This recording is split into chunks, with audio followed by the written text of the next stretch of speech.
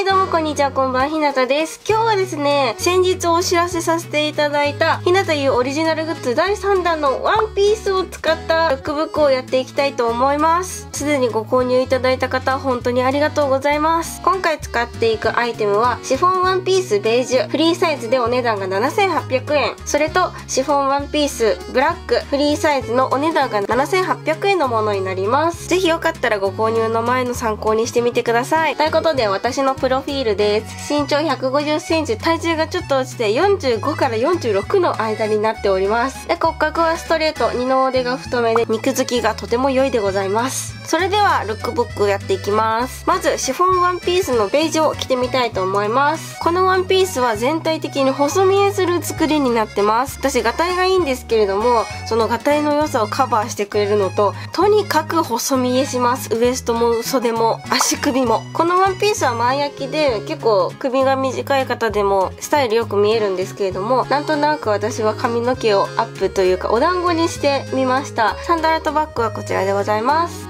はい。こちらもオリジナルグッズのフラワーリングセットの一つでございます。これも可愛いでしょ？いということでまず1コーデ目ノーマルに着てみました。いかがでしょうか？私みたいに身長が1 5 0センチ前後とかで低身長の部類に入る方でも本当にスタイルよく見えるしもちろん高身長の方でもスタイルよく見えるように作っていますので何も気にせずお洋服が着れるかなって思います。ウエストが胸元のすぐ下ぐらいにあるので足長効果抜群でございます。でウエストはねゴムになっていてリボンも自分で調節できるのでウエストがちょっと自信ないなって方でもも余裕に着れます。ということで次ワンピースの下にチュールスカートを履くコーディネートです。私ねワンピースの下にチュールスカートとか履くのすごい好きでチュールスカートを1枚履くだけで一気に雰囲気変わるというかちょっと履いてるところ見てもらいたいんだけどやっぱりちょっと重ね着するということでちょっと着てて暑いなっていうところもあるんだけどワンピースの下からチュールスカートが見えるのがめっ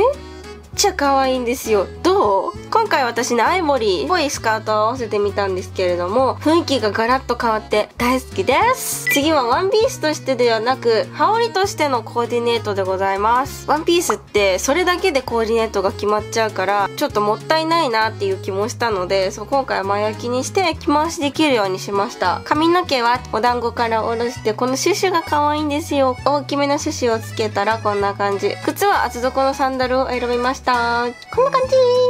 はいということで羽織にしたバージョンのコーディネートでございます。いかがでしょうか？中の合わせるパンツとかキャミソールにもよるんだけど私は今回はブランケでまとめてみました。ワンピースがねベージュというのもあるので今回はちょっと同系色のブラウンのねこれ GU の去年買ったパンツを合わせてみました。中に合わせるキャミソールとかボトムスを変えるだけでこれもねまたいろんな雰囲気がね味わえるコーディネートになっているのでぜひぜひね購入された方はこういう着方もしてみてはいかがでしょうか？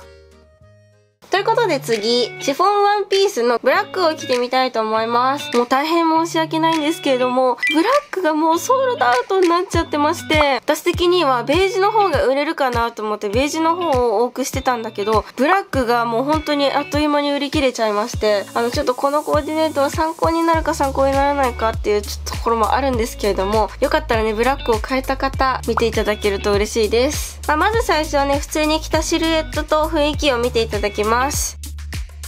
あら、こちらもリングセットの2つでございます。リングセットも好評発売中でございます。はい、ということで黒はこんな感じでございます。ベージュはね、女の子っていう感じがするんですけども、ブラックは一気にお姉さんっぽい感じになりますよね。だからみんな結構黒人気だったのかな。もうほんとしくっちゃったよ。今回はね、再販とかね、造販をね、ちょっと考えていなかったので、ブラックが出るよっていうことはね、ないんですけれども、ブラック買えた方はほんとラッキー。ありがとう。ブラック買えなかった方はぜひベージュもご検討ください。ということで次、ベージュでもやったんですけれども、チュールスカートを中に履くコーディネートです。ベージュの時は白いチュールスカートを合わせて、ちょっとね、同系色でまとめてみたんですけれども、黒に白のチュールスカートを入れてみました。なんか予想以上にね、この白と黒のコントラストというか、下にね、白いチュールスカートが見えると、女の子らしさが増す形になりましたね。ちょっとブラックではしなかったんですけれども、ブラックも前焼きできて、パンツとかキャミソールとかと合わせるるといいと思います。